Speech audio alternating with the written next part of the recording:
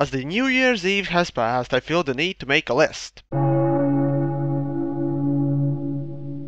This list contains 9 things that I personally like to see accomplished or put in game this year. Oh, and if you like the idea, you can make your own. Anyhow, let's start. Number 9. As I reviewed my last year's list, I was surprised to see that some of the things I got quite spot on. But those that didn't came true, I still want to see done. And one of them is smoke grenade for infiltrator, as well as decoy nades made into the holographic projectors. Just so it actually can work as a decoy, not only as some dumb zones and blips on the minimap. Number 8. Again with the infiltrator. But can you blame me? Anyways, I seriously would like to finally have a way to deal with vehicles directly with my infiltrator. So hacking it is. And while we're at it, automatic and normal NG turrets should be hackable as well. Oh, and please, finally release the goddamn drone you've been marinating for about a year or so. Number 7. I remember this thing floating around the roadmap from time to time, but somehow never making to the real game. I'm of course talking about the Light Assault update. It's high time that little C4 fairy gets some new tools and wings. I mean jetpacks. Or actually wings too. After all, you never know how they could work out.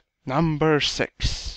Oh, this one. This gripe with the game I have could be possibly coming from insufficient lore inside the game itself. See, PlanetSide as it stands is rather dull as hell, and I think giving it some backstory as to why I have to commit genocide would be a neat thing to do. Not only for me, but for noobs too. Mind you, that not everyone will go to the wiki and read the lore, so putting some of it into the game would create some sort of atmosphere at least. Number 5. I have said this over and over again, but in this game bases should not be walled in arenas. Yes, in games like Half-Life you move from room to room, but even their connecting parts get used in fighting. In PlanetSide 1 or 2 you simply have arenas put in middle of the battlefield. Honestly, I'm sick of having huge armies move from base to base camping spawns because terrain is complete shit. But those battles that have been taking place outside the arena bases have always been the best and most exciting. So come on, level designers, provide us with terrain that has a base in it, not a goddamn coliseum with a skybox. Number 4. As much as Higby is a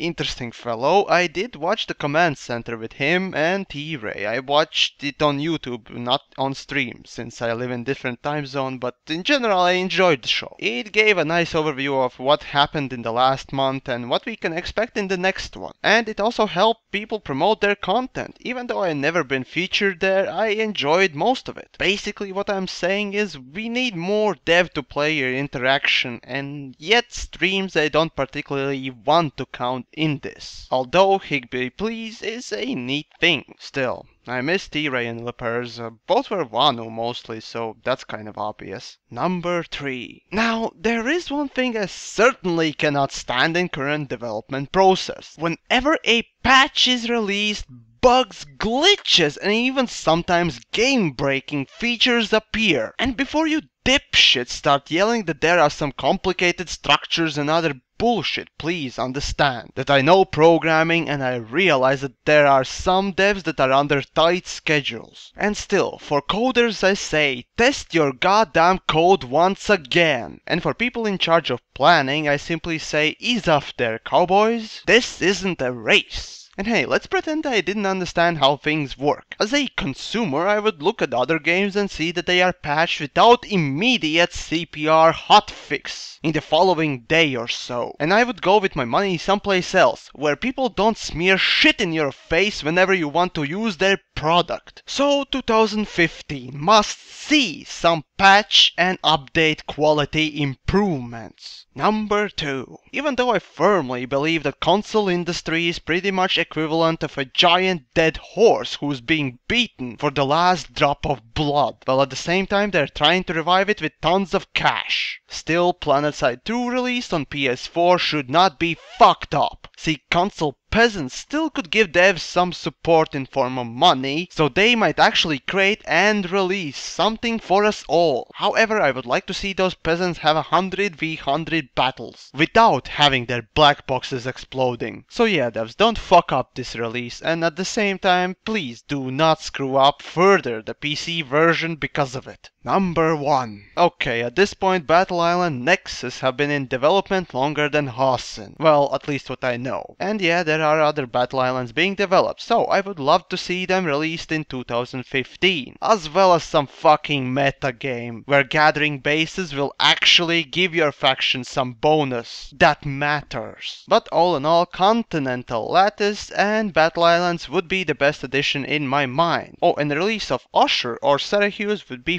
fantastic. So there, simple and short, my list for this year.